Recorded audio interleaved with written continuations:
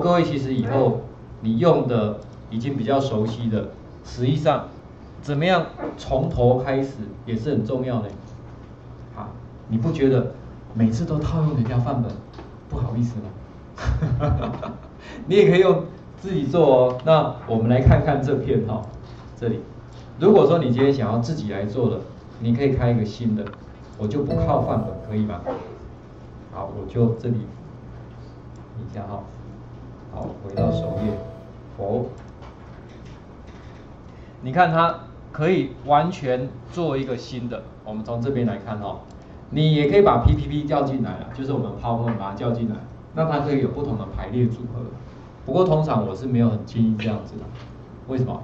阿伯利的用 PPT 的，后来你喜欢用这个，你拿到把 PPT 拿到这边来，不同的方式呈现而已啊，这样还是跳脱不出你那个思维，了解吗？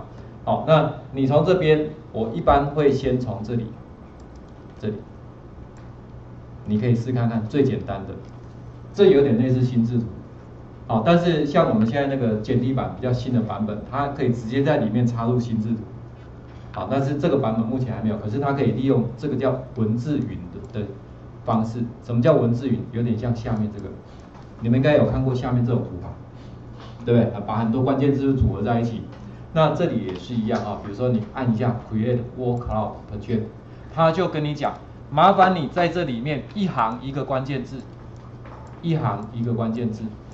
好，那你要选择这个背景颜色挑好，比如说，哎，我有想到这个简报，第一个简报，第二个想到简报，我们就想到我们有 PowerPoint，对不对？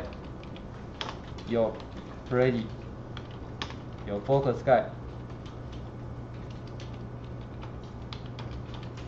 还有 Sway，有这么多，那我都想好了，那我选一个背景，我就按创建，来，你看一下，你已经把关键字都打进去了，有看到对不对？你可以先预览一下，下一个，有没有 PowerPoint？对？但是那个字的大小还在调整。可是你有没有发现，它把所有关键字是都挤进来了？那你这样就可以重新来试看看。我就回到这边来。你如果觉得第一个，先把它的字是不是先调好？好，不满意这个拉大字的大小，这里拉开，点进去，拉开，先让它都变成一个字。当然颜色你可以自己改一下哈。好，我想到这些，对不对？那排列的方式，当然等一下你可以再改。可是这样，你是不是可以再插入自己的图？背景可不可以换？可以的，在上面这里，你看这里上面有没有背景？因为你不满意这种渐层式的，你就来这边。它这里呢有几种背景的方法哈。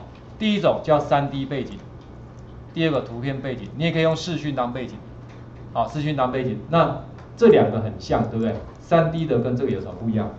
我们现在的网页倒很常做这一种，就是移动的速度不一样，前景的移动速度跟背景移动速度不一样，你感觉就会有一个什么景深的感觉，好，景深的感觉。那所以这个叫三 D 背景，三 D 背景。那如果是图片的背景就很单纯，移动速度大家都相同，好，移动速度大家都相同，所以我们可以看一下三 D 背景相对比较少。啊，相对比较少，就是有一些是付费的。那如果一般的图片背景这边就比较多，哦，你就可以选择看看你要哪一个，当然也可以自己挑。哦，比如说你要这个，点下去，有没有后面背景就变了？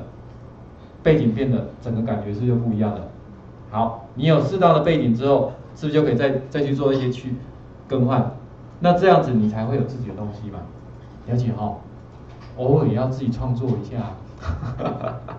虽然范本你可以用很多，但是有时候你可以像这样子，哎，可以先稍微试看看，因为慢慢的这个只是什么新自主的方式哈。那如果说哎我不要这样，我想要怎么样，全部重新的，因为我不见得是关键字要进来，你就在这边告诉他我要建立空白的，这就要有勇气喽，对不对？